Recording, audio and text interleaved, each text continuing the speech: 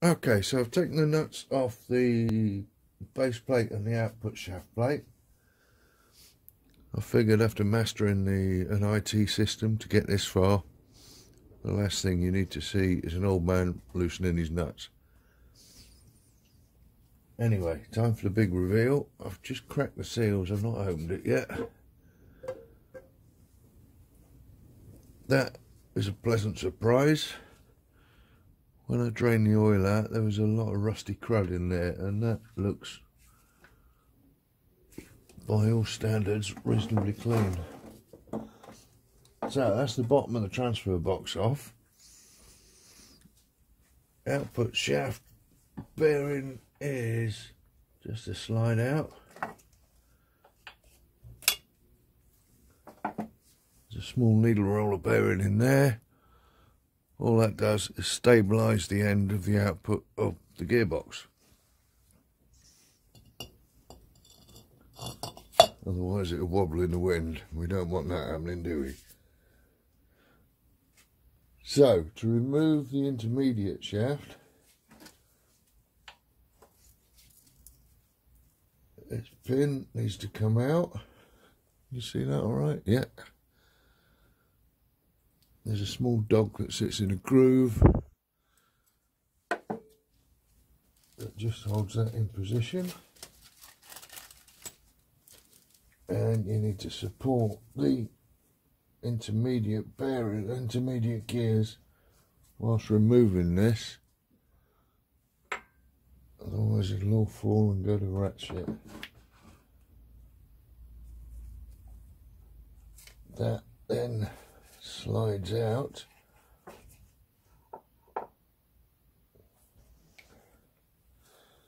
Inside there are two needle roller bearings.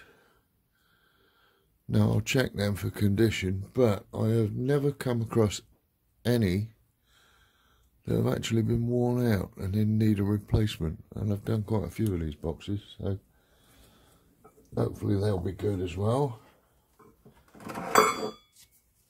each end of that to secure it from wobble is I'll get my head out of the way.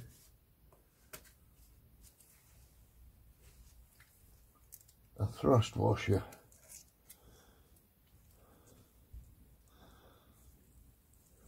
That's shimmed. Must keep these together and the same way round uh, I've found and that's come out without a shim so that one that side didn't have a shim fitted. A little bit of wear on that. Otherwise good. No wear on the inner one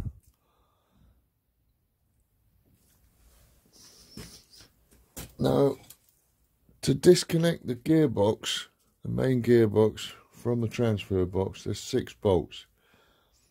Three on the inside, three on the outside. I have seen some videos that state you can take the transfer box out off the gearbox without removing the intermediate gear. Now I would love to see that done because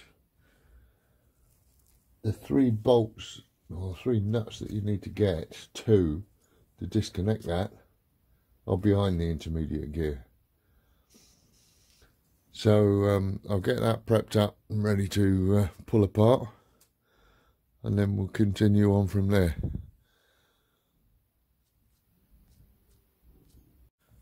Right, time to separate the transfer box from the gearbox. One thing you will need to do or make sure either take the um, high-low control rod off control lever off or just disconnect it from the control rod on the box because your transfer and four-wheel drive mechanism is still connected to the bell housing there. Either take the lever off or just disconnect the control rod. Then careful jiggling and that's a technical word that comes out. Remember, always bend your knees. So my dad used to tell me. He had a bad back as well. And that's it. So I'll take that off so it don't poke me in the eye. Next time I uh, lean over it. Back of the gearbox is now exposed.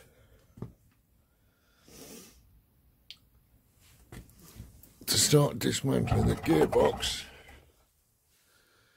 here is one of Land Rover's special nuts, which obviously you can buy the tool for from Land Rover for something over a hundred pounds.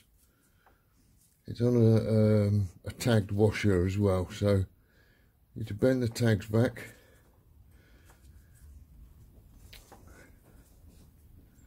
There it is, so I'll bend that back in a bit. Then, with the application of a tool I made earlier, I can get it off the wall, now it's not pretty and you're all going to laugh, but it works. You can either get a socket that's just undersized and weld some dogs onto it, or you get a, I think it's about 32, 33 mil socket that's oversized, and you cut some slots into it. But it will save you a lot of money for the sake of undoing one nut. Okay, that'll do for now. Time for lunch. Wobbly camera. Okay, so if you just want to do the gearbox, then you can stop there. Um, like I said before, this has been standing outside for some time now. So I've got going to completely strip it down. So need to remove this top plate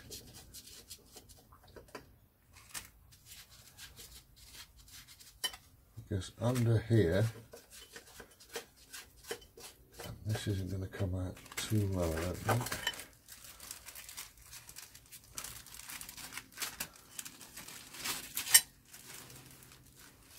Let's see if I move the camera. I'll move the gearbox.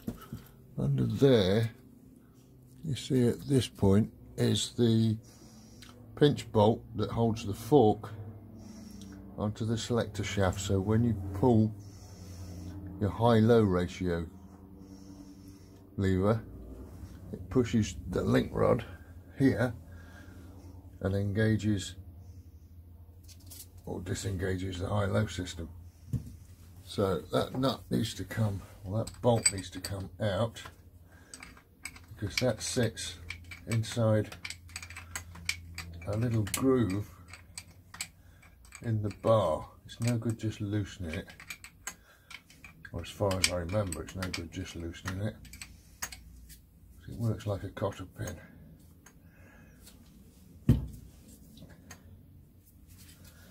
Once I can get it out,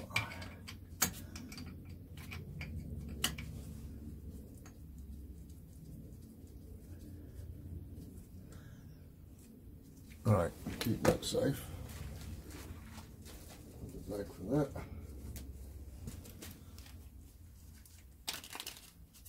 I'll put that back into the fork bit later when Then you need to remove there's a ball bearing on the end of a spring that fits into a detent on the rod to lock it in position. Is it a ball or a... No, it's a little type piston object. That fits into a groove, so when you pull the rod back and you feel that click, that's that dropping into the groove. I've already removed the bolts from underneath connecting the transfer box forward output so let's see if it's going to come off without having to stop the video tease it off and start the video again.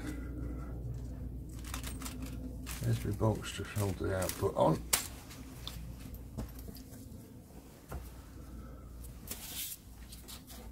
Well, that's something to persuade it with.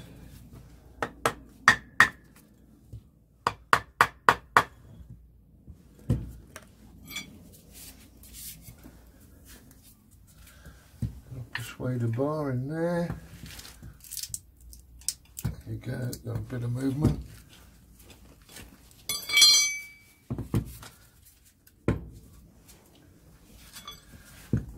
You can all sit back and have a laugh now while I struggle to lift this full, pull this forward. There's a little shelf there you can get some grip on without damaging the connection between the two. So that slides forward.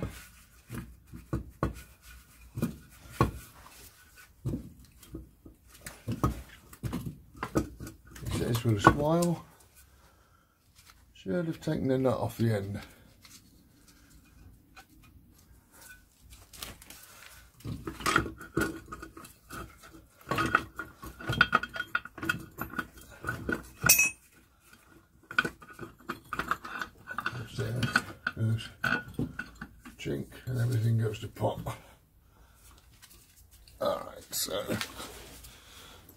That is your four-wheel drive bit. All it does is pull a lever, it pushes that, drops that back. Actually, four-wheel drive, you push the lever down, don't you? It pushes that back, slides that onto there, all is good.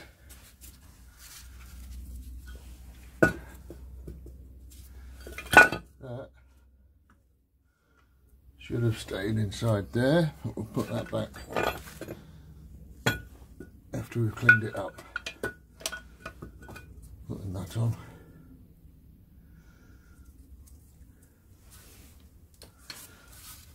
And get that cleaned up.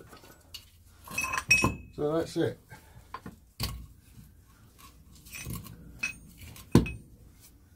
There's the fork that sits on your that rod.